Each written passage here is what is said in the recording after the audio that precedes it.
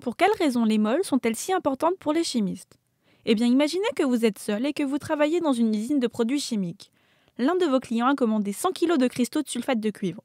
Pour les livrer, vous devez dissoudre de l'oxyde de cuivre dans de l'acide sulfurique chauffé, ce qui donnera une solution de sulfate de cuivre, à partir de laquelle on obtient les cristaux de sulfate de cuivre hydraté, que vous connaissez peut-être. Cependant, voici le problème. Comment savoir quelle quantité d'oxyde de cuivre introduire dans le tube d'acide? Si vous en utilisez trop, tous les réactifs ne vont pas se dissoudre et vous allez dépenser du temps et de l'énergie pour séparer les solides qui ne sont pas dissous dans la solution. S'il n'y en a pas assez, vous n'aurez pas assez de produits pour votre client et serez en retard. Autrement dit, cela pourrait vous causer préjudice. Mais en utilisant les moles et une équation simple, ce genre de problème se règle facilement.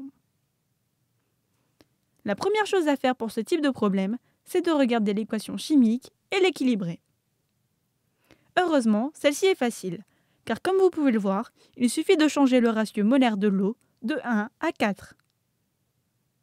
Le ratio molaire des autres espèces est de 1.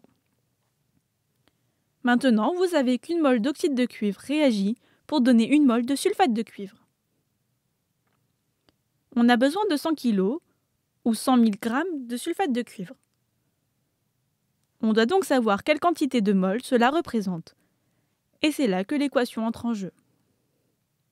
Le nombre de moles nécessaires est égal à la masse souhaitée, 100 000 g, divisé par la masse moléculaire relative du produit désiré, le sulfate de cuivre. En utilisant notre classification périodique, on sait que celle-ci est de 63,5 g pour l'atome de cuivre, plus 32 pour le soufre, 9 fois 16 pour l'oxygène et 10 fois 1 pour l'hydrogène ce qui donne 249,5 g par mol. 100 000 divisé par 249,5 égale 400,8 mol. Il s'agit du nombre de moles d'oxyde de cuivre qu'il faut ajouter à l'acide. Convertissons-le en masse. Encore une fois, c'est très simple. Il suffit d'utiliser à nouveau l'équation. Cette fois, nous connaissons le nombre de moles, 400,8. On peut donc connaître la masse moléculaire de l'oxyde de cuivre, 63,5 plus 16 égale 79,5 g par mol. Pour connaître la masse, un simple réarrangement suffit. 400,8 fois 79,5 égale 31 860 g d'oxyde de cuivre. Et voilà, problème résolu. Observons un autre exemple, le célèbre procédé Haber pour la fabrication de l'ammoniac à partir de l'hydrogène et de l'azote. Pour en savoir plus, il existe une vidéo à ce sujet. Imaginez-vous qu'un jour, dans l'usine, nous produisions 4000 moles d'ammoniac avec de l'hydrogène gazeux en excès. Lorsque vous rencontrez un réactif dit en excès, cela signifie que la quantité utilisée dans le récipient est supérieure à celle nécessaire.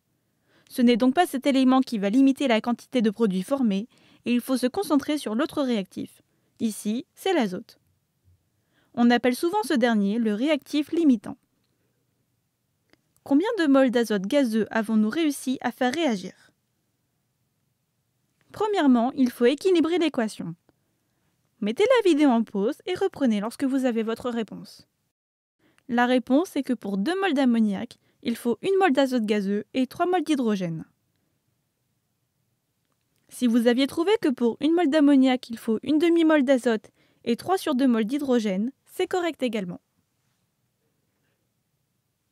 Pouvez-vous trouver combien de moles d'azote gazeux ont été utilisés pour faire 4000 moles d'ammoniac? Mettez pause et reprenez lorsque vous avez trouvé.